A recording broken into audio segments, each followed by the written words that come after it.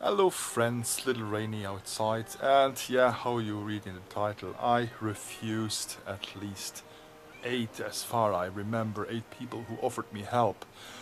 And uh, yeah, I shouldn't, because I really thought that someone could send me an old of computer which could at least replace what I have, but no, it's senseless.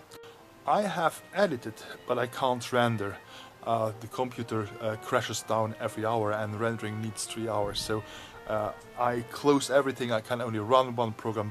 It, it's it's no more a computer. It's a it's a piece of so. Um,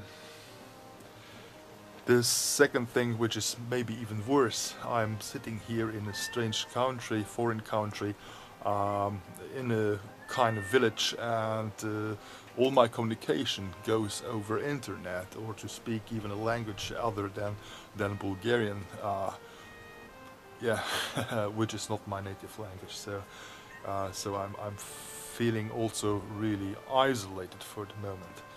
Um, well I will do it short don't feel obligated there is a um, PayPal button.